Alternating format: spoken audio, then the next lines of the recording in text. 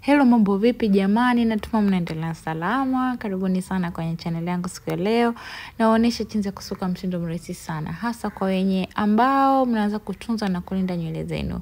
Nywele yangu inakaa namna hii. Hakikisha kwamba muda wote ukistyle nywele yako lazima uitie unyevu kwanza. Unyevu ni kitu cha muhimu sana la sivyo nywele yako itakuja kukatika na kunyofoka. Kwa hivyo hapa ninatia unyevu jamani. Nimenyunyuzia maji tayari na ninatumia hii cream ya Cantu ku moisturize nywele yangu. Hii cream ina moisture sana nakwambia. Kwa hivyo hakikisha kwamba una kitu ambacho unatumia ku moisturize nywele yako. Na hapa mimi nilisha tenganisha nywele yangu kwa sababu nilikuwa nafanya hivyo kwenye kioo na mimi ninakuwa na tatizo na changamoto ya kuweza kutenganisha mistari ambayo imenyoka vizuri. Kwa hivyo sijali, bora mtindo wangu utakuwa umetokea vizuri jamani. Na mtindo wangu ni mrahisi namna hiyo, ninasuka flat twist mbele namna hiyo, alafu nyuma mtaona nitakachokifanya. Jamani, kama unatazama video yangu sasa hivi hapa kwenye mtandao wa YouTube, na ukaweze aweze kubofya kitufe chekundu kimeandikwa subscribe na hiyo ndio njia ya pekee ambayo unaweza kusupport chaneli yangu na pia ukaweze kulaki video. Kwa kulaki video pia inasaidia YouTube wakaweza kupendekeza video zangu kwa watu wengine pia, na pia usisahau kuniachia ujumbe pale chini kwenye comment section, uniambie um, una maoni yapi au kuna nini ambacho ungependa nijibu.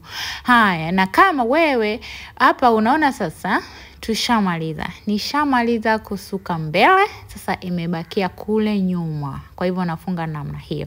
Kwa hivyo jamani, kama unatazama hii video kwenye mtandao wa TikTok, na kuomba ukaweze pia kubofya pale juu ambapo imeandikwa alama ya jumlisha, na pia ukaweze kuteremka kulaki video na pia kukomenti. Ukitoka hapo na favorite video na kuweza kushare na watu wengine jamani. Kwa hivyo uh, baada ya kufanya hivyo mbele ni kwamba Uh, nyuma ninatumia hii curling cream kusuka twist namna hiyo, alafu baada ya hapo zikikauka nitasifumua. Jamani, ni mtindo rahisi sana jamani, hata kusuka flat twist ni kitu ambacho ni rahisi sana. Mimi nakumbuka nilijifunza kusuka flat twist kwa muda tu wa siku chache.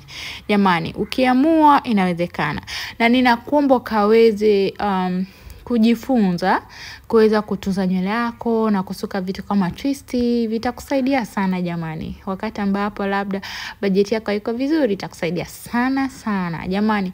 Hii ni siku ya pili baada ya zile twisti kuweza kukauka. Siku ya kwanza nilikaa namna hiyo jamani. Unaweza kuamua ukaweza kukaa namna hiyo, alafu baada ya muda ukaweza kusifumua. Kwa hivyo siku ya pili ndio hii hapa, nimefumua inakaa hivyo. My hair is very curly.